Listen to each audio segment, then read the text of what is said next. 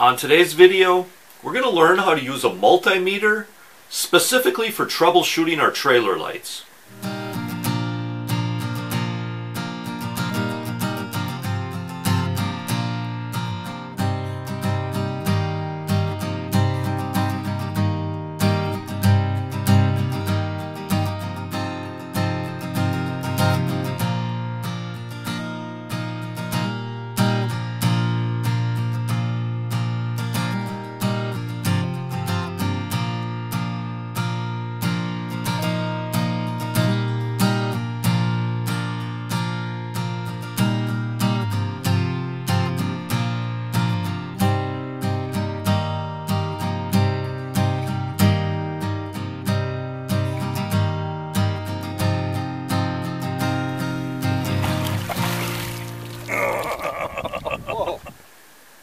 Hey there outdoor YouTubers, it's Dave Knetter from Knetter's Practical Outdoors. And you know, like I said earlier, this video is about how to use a multimeter to troubleshoot trailer lights. Okay, this is part three of a multi-part series of videos on how to fix your trailer lights. Okay, now part two in this video series just dealt with learning how the circuit works.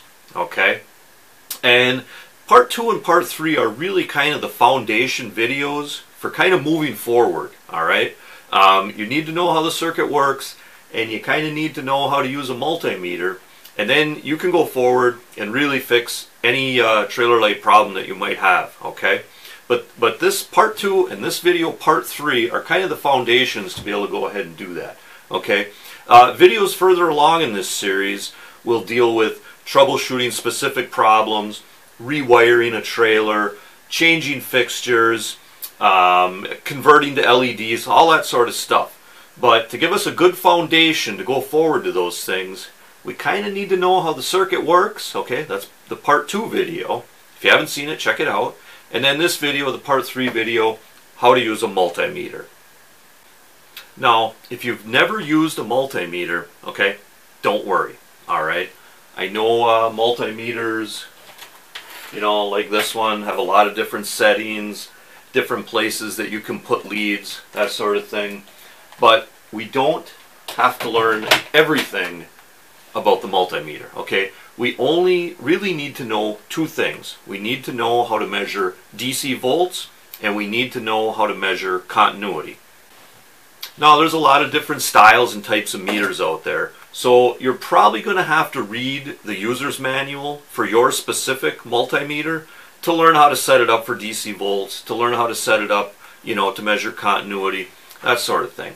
But for the purpose of this video, we're going to go through that stuff. We're going to be using this meter. This is a pretty basic meter, and it's going to be similar to a lot of meters that are out there. Okay, so seeing how we do it with this meter is going to help you get in the ballpark of how to set your own meter up. Okay, and again, don't uh, be intimidated by multimeters, okay? We're going to break this down. It's just two things. We're going to make it real simple. All right. First, let's go ahead and learn how to measure for DC volts. All right. So, we're going to take our meter, all right? This particular meter, we're going to turn the selector switch to the V with some straight lines above it, okay? And most meters are going to say uh, VDC for voltage DC, or they're going to say just DC, or maybe like this one, a V with a straight line. Okay, the V with the squiggly line, that's AC volts. Okay, again, you're really going to have to refer to the uh, user's manual for your specific meter to know how yours works. But for this one, it's the V with the straight line. Okay, here we have a 12 volt battery. All right, so if we wanted to measure and see if we've got our 12 volts on this battery, again, we put the meter to DC volts. We'll take our black lead and we'll put it on the negative black terminal of the battery. We will take our red lead, put it on the red positive terminal of the battery, and lo and behold, we have 12.6 DC volts coming from this battery. All right. And that's how you would measure the voltage coming out of a battery. All right. So, next thing we're going to do, we're going to hook up our little test circuit here, okay? we've got a little trailer light set up here. We've got our uh, plug, okay, our four pin flat plug. And for this series of videos, I'm always going to refer to the four pin flats, okay. Those are the ones that are found on the trailers I have. There's a few different styles and types uh, of different trailer light plugs. But these four pin flats, those are the ones that I have. So that's the ones that I'm going to reference throughout this series of videos, okay? But the principles, you know, a lot of the basics are going to apply the same way to different styles and types of plugs. Alright, but for anyways, for this video and this series of videos, we're just going to be going with the four pin flats. Alright, and I've got these wires hooked up to our little test setup, our little trailer light setup. Alright, now, strangely enough, with trailer light wiring, white is your negative or your ground, okay? I don't know why they didn't use black, but that's how it is, okay? So the white wire always goes to ground or negative, okay? The negative of your car battery is actually hooked to the frame of your car, all right? And that's the path that it uses to return all the circuits back to the negative of this battery. Now, I get into it a lot more in uh, part two of this video series, how the circuit works. Okay, again, if you haven't seen that, you really want to go back and look at that. If you have any questions about how, you know, the circuit works with trailer lights and, and grounding to the frame and, and all that sort of thing, okay? Because it's the same thing on your trailer, okay? The trailer frame is oftentimes used as the ground or the return path back to your car, back to the negative of the battery in your car or truck. Okay, so again, if you have any questions about that, definitely watch part two of this video series, how the circuit works. All right. Anyways, to hook up this little uh, test circuit, the white ground goes to the negative of the battery. All right. The brown, okay, the brown is actually our running lights, okay? So if I hook the brown up to the positive, both of our lights come on, all right? So that's good. Our lights are working. Okay, this me hooking this up would be kind of the same thing as turning your running light switch on. All right, but what if these lights didn't light up? Okay, you know, what would we do? You know, that's where maybe knowing how to use a multimeter would come in handy. All right, so we could go to our plug. Okay, this is just another example of how to use a multimeter uh, for measuring DC volts. All right, and you can see the plug. It's pretty easy to figure out which color wire goes to what part of the plug, right? This white wire is over on this side. So if we want to measure, like, hey, is there, do we have our DC volts coming out of here? We want to take our black lead and we want to put it on this single exposed pin. Okay, that's uh, that's the ground pin or the negative pin. All right, and then we can kind of see the one next to it is actually the brown. Okay, so we'll stick that in there, and lo and behold, we've got our 12 volts there. Okay, it's actually 12.5, all right? So that's just another example of measuring DC volts to help you troubleshoot trailer lights.